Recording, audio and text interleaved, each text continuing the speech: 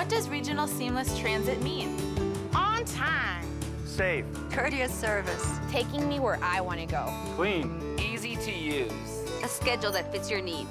No traffic hassles. No parking hassles. Time to relax. Transfers are simple. Extended hours on weeknights and weekends. Dependable.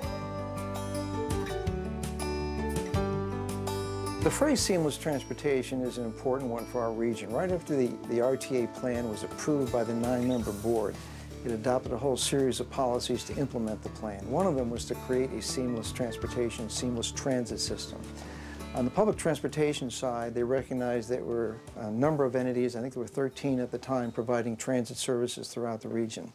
And the idea of creating regional seamless system was to have them all work together. And part of the whole rebranding system, the, the smart card technology, all the elements that are going to enable the citizens of the region to use the public transportation system easily and seamlessly. That's exactly the way we view it. Region-wide, the consumer is going to have lots of opportunities for transportation. The multimodal transit system is really exciting. We have the new streetcars, we have the new buses, the express service, the circulator services that we'll have in the outlying jurisdictions, and they'll all connect seamlessly so that you'll be able to go from Oro Valley to Sahuarita on a transit system that works together.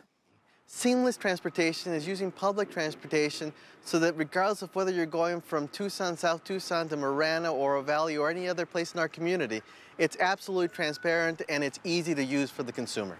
It's all about making it easier for the passenger, for the driver, for the customer, for the taxpayer. Transit, SunTran in particular, have begun the work right after the vote was approved. Uh, they have more weekend, weeknight, uh, and extended services. A lot of people like the later night service and more service on the weekends because they work at night and they work weekends.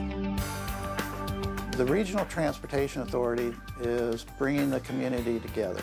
What it's doing is allowing a individual traveler to go from one part of the community to the other part of the community seamlessly. The RTA is putting improvements in throughout the community that are all connecting the region together. I think our employers have a duty to our community to encourage their employees to look at public transportation as a very viable uh, means of transportation to and from work. Generally, the ridership is up. All you need to do is drive throughout the community and you see people waiting to get on the bus. So the public transportation side is, is really doing well.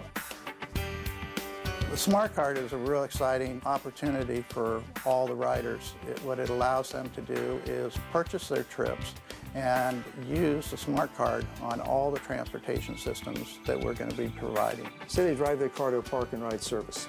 They'll be able to get on the circulator that hooks them up into the express. That same card, they get off one vehicle, off the circulator, into the express route, they go downtown. They want to make an exchange to go out to Park Place Mall. Same card gets them on a vehicle, Park Place Mall. Then maybe back into the Ronstadt Center, back to the express, going back to Marana, Oro Valley, Green Valley, what have you. It's all one card. They'll have one-stop shopping, so they'll be able to access uh, everything that's available to them, regardless of what system they're trying to access, either the Express, Circulator, SunTran, whatever it is, they'll be able to access it.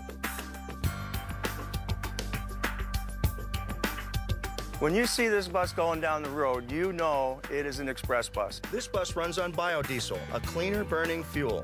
The windows are lighter than our other buses because they contain a technology called Heat Guard, which allows the window to be lighter but still reflects light and heat as a darker glass would. The kneeling ramp allows the bus to kneel in the front so passengers can board the bus easier without having a higher step.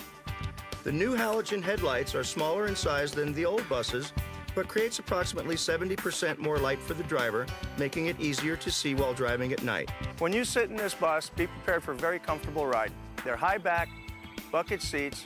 They're soft, they recline, they have armrests that go up and down, they have footrests, and they're wide, so it's a very comfortable ride. The bus is just much more comfortable. It's actually a very nice symbol of, of what we have to look forward to as a community in terms of our public transportation system.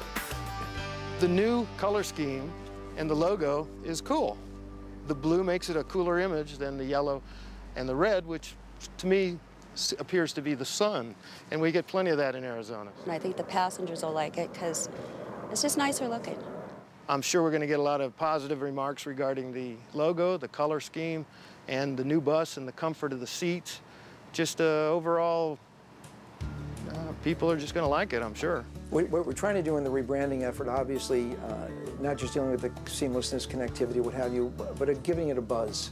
Uh, if, if you look at the major transportation projects in the Portlands and, and other areas that are used as, as examples, it's part of the community fabric. It, it's part of the, the pride that people feel in their community, and that's all where we are in Tucson. The streetcar will certainly do that. The connectivity from the outlying areas through the circulators and the express system to downtown can only help downtown.